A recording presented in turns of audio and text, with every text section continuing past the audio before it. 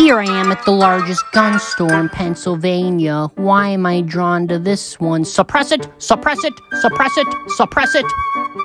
Wise old Mr. Owl, maybe he'll teach me about safety. Stand for the flag, kneel for the cross.